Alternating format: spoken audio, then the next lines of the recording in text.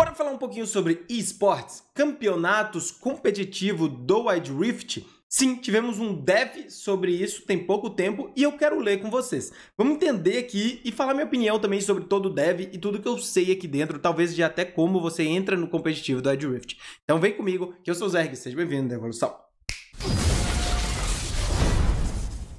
Fala time, eu tava trazendo algumas informações aqui, até no vídeo de meio-dia, sobre a temporada, e acabei achando esse dev de esportes do Ed Rift, que eu não tinha lido e não vi ninguém falando sobre.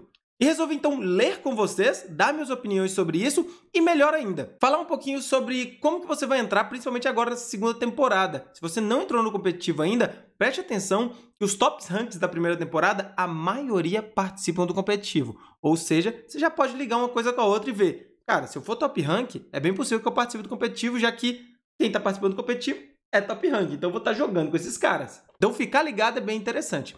Bora entender um pouquinho mais sobre tudo que está acontecendo aqui no esporte do Ed Rift, qual que é a perspectiva para o ano que vem, principalmente, que a Riot já falou um pouquinho sobre isso.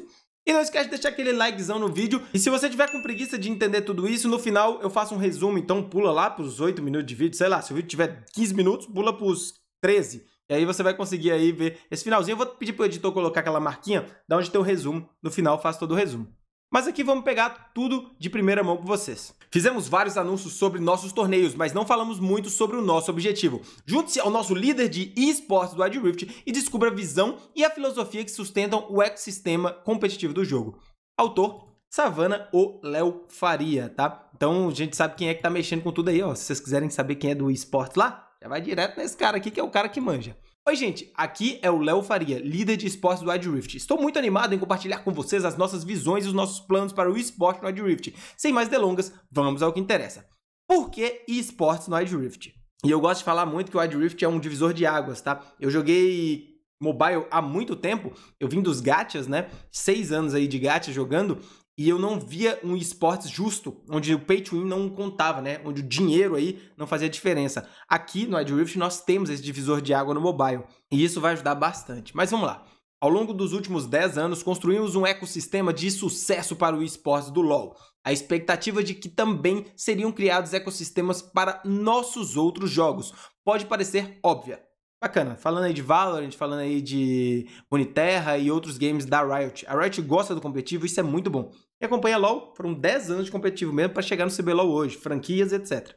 Nós falamos sobre isso se você não sabe. Mas não é o caso construir o esporte do Ed Rift, foi uma decisão que exigiu muito tempo e discussão. Então acredito que é importante explicar as razões por trás disso tudo. Uma das funções principais do esportes de qualquer jogo é criar inspiração para as pessoas jogarem. Eu mesmo adoro esportes, velho, não tem como. Eu gosto de jogar competitivamente. Eu acho que muita gente vem pro Ed Rift por causa disso. A ideia de pessoas se inspirarem em profissionais pensando, poderia ser eu, é o mesmo motivo pelo qual os atletas profissionais são admirados. Se alguém vê uma pessoa fazendo algo incrível, isso acende a paixão que faz com que ela mesma queira fazer aquilo. Perfeito, velho. Acho que até aí eu tô concordando tudo.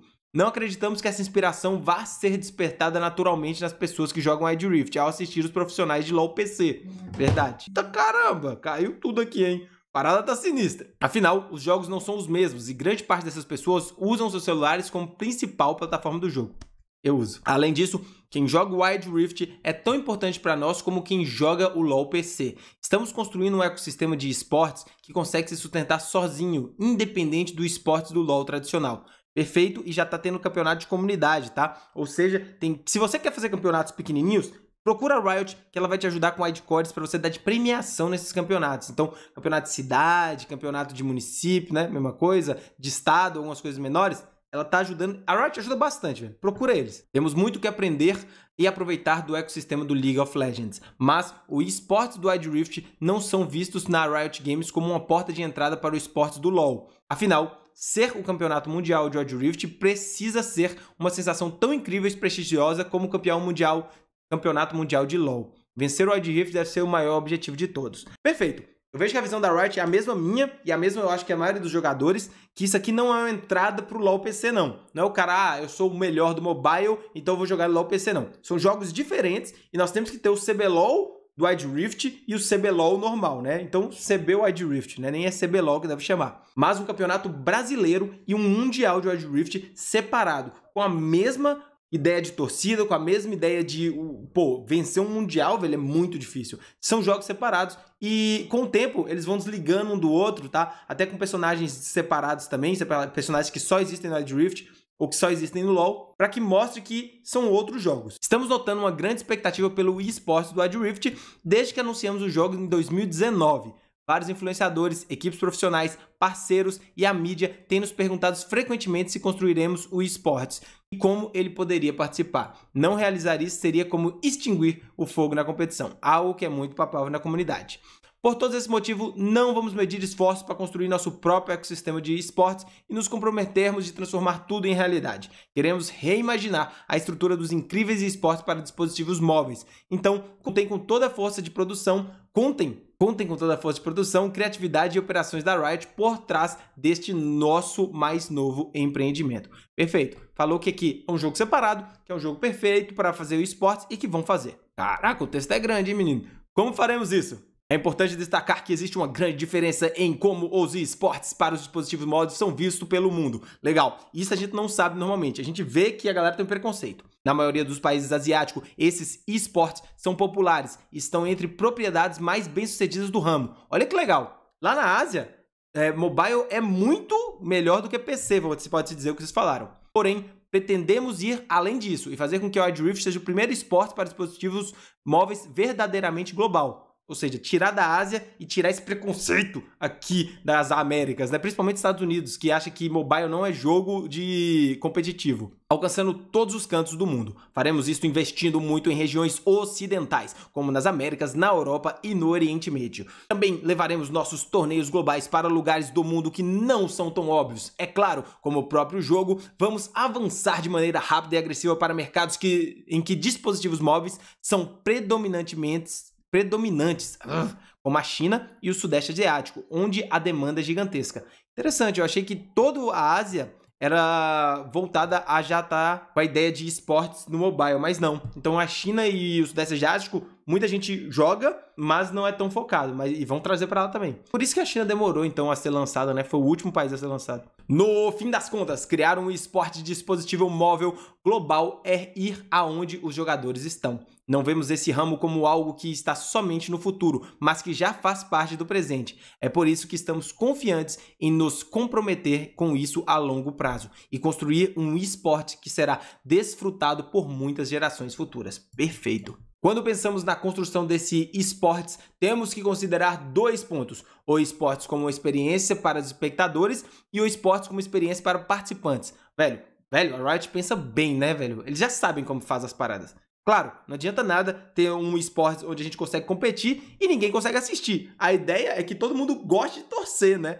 Você queira assistir, se a gente assiste futebol aqui no Brasil. Narito Gomes, esperamos que nossos jogadores sejam divertidos de jogar. Esperamos que nossos jogos sejam divertidos de jogar, mas alguns serão mais divertidos de assistir do que outros, o que também vale para esportes tradicionais. Acreditamos que o Wide Rift proporciona os momentos eletrizantes que tornam o esporte divertido de assistir confrontos de equipes explosivos, roubos de barão insanos, backdoors malucos, todo... já, já vimos tudo isso nos campeonatos brasileiros, hein?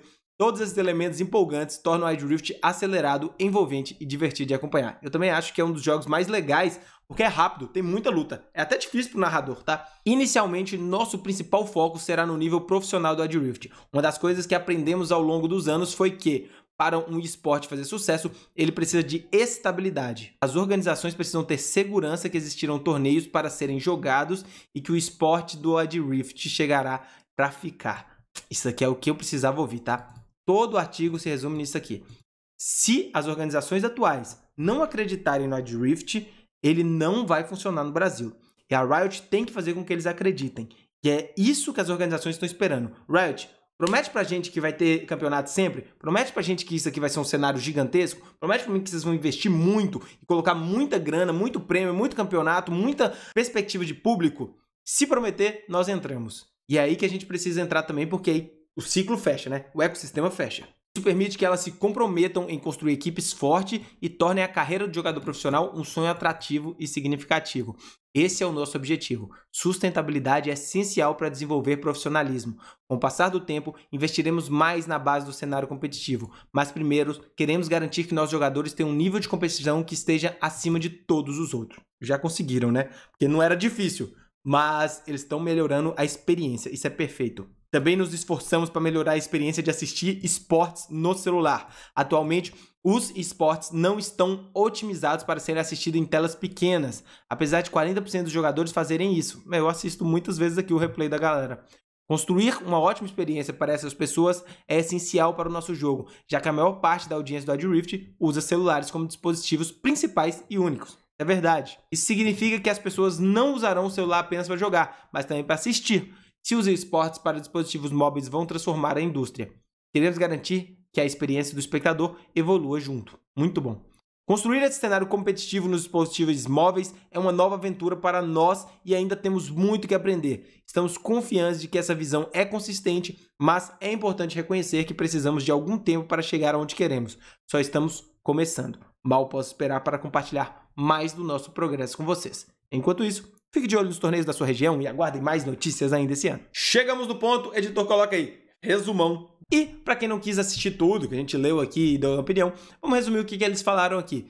Resolveram colocar o esporte no Wild Rift porque eles acham que na Ásia já acontece e é muito bem visto lá, mas na América não, e eles querem fazer um global resolveram colocar um esporte real no mobile. Essa perspectiva a gente aqui da América nunca teve, porque não existia jogos aqui realmente competitivos pesados, né, sem vantagens de dinheiro ou algo do tipo, mas na Ásia já tinha e eles querem trazer. Não era em toda a Ásia, vão entrar em países ali da Ásia que tem muito mobile, mas pouca competição também para colocar. Então eles querem um competitivo forte. Na segunda parte, eles foram mais enfáticos ainda em falar que vão construir um cenário onde as organizações se sintam seguras de colocar times fortes, ou seja, pagar bem para jogadores, porque eles querem esses times fortes no cenário. Eles querem que a galera vire pro player e queira ser pro player. Tudo isso ajuda a Riot e a Riot acredita nisso. Então, organizações, fiquem tranquilas que a Riot vai entrar com tudo não começaram ainda, e eles explicam o motivo, porque eles querem deixar a melhor experiência pro cara que tá jogando